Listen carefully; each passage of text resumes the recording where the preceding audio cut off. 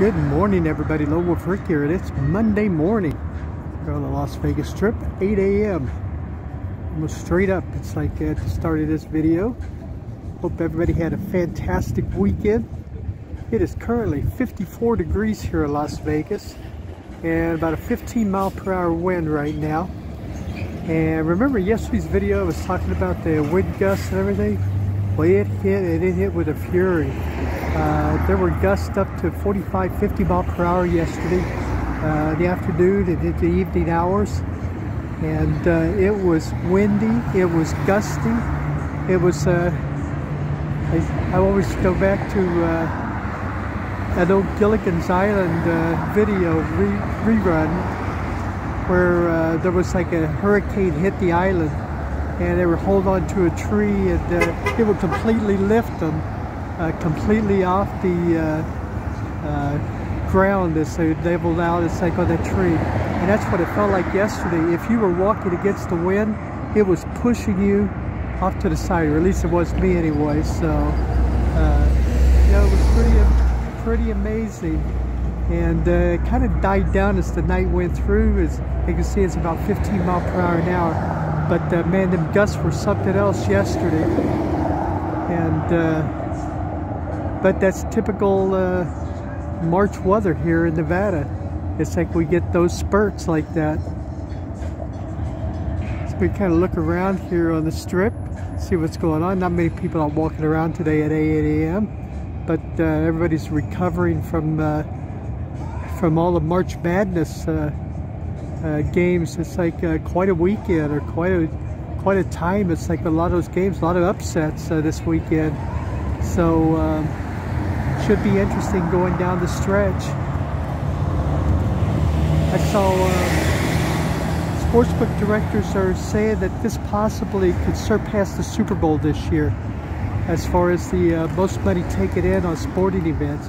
I keep in mind it's like, you know, the March Madness is a whole series of games uh, where the Super Bowl is just that one game, but uh, that's pretty amazing. That's never happened before. Uh, at least I haven't read or I don't remember it ever happened before. But uh, it's absolutely pretty crazy that uh, you go through and uh, and you um, see the kind of money that was wagered and it was packed. It was super busy here. It's like uh, this weekend on the strip and I imagine next week it'll be the same. And uh, that kind of leads into one of the two things I was going to talk about is the um, next year. March Madness.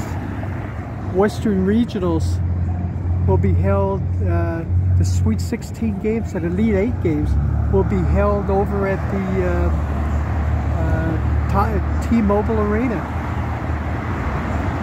It's like, uh, that's huge news.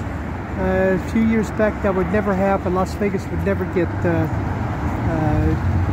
these type of games or whatever, these college games, but it's a it's a uh, you know with the Raiders and the Golden Knights and and uh, baseball possibly coming to Las Vegas.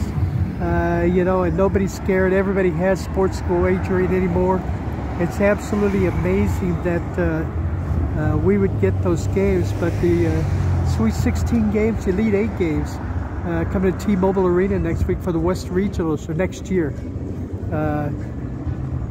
fantastic. A lot of that'll be a lot of fun, and that'll bring even more craziness here to the Las Vegas Strip. And then the other thing I'm going to talk about, here's something that's pretty interesting. I thought it's like you might find interesting. As I was pursuing the uh, internet last night and looking for stories, and like I said, that was the that was the only story that I could find uh, that uh, affected us here in Vegas. But uh, here was an interesting thing I found. This is a list of, from the Nevada Gaming Control Board, Nevada Gaming Control Board. These are the top five casinos uh, with the loosest slots.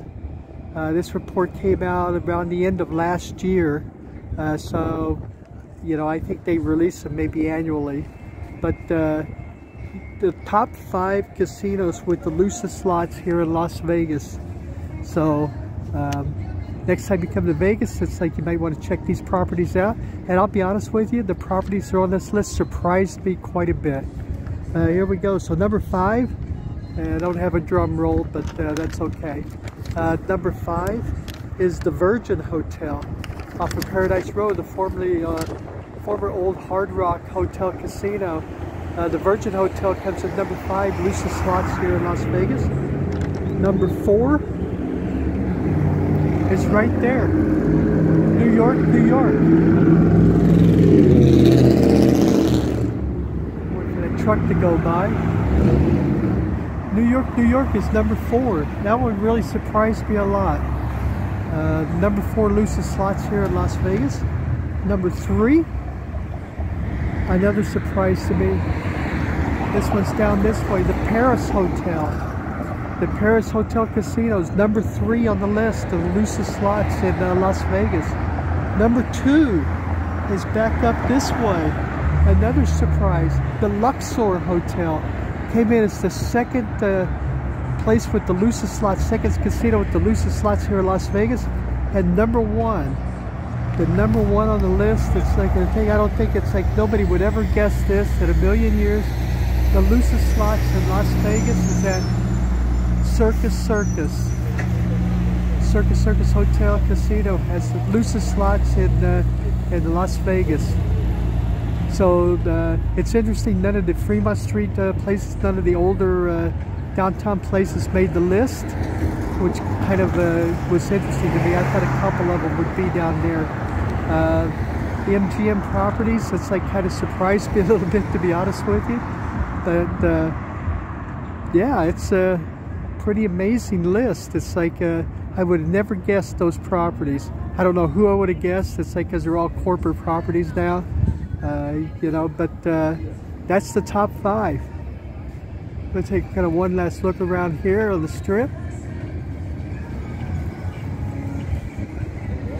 See what's going on here. You see I'm standing in front of this Burlington outlet store and the Target store right here. And we've got that Olive Garden store. That Olive Garden's been there maybe going on five or six months now. I want to have lunch there one day and uh, I'll do a video and let you know how that was here. Uh, they have people, it's like, especially it's like, you know, in, the afternoons out here trying to get people into it. So uh, hopefully the business is okay there.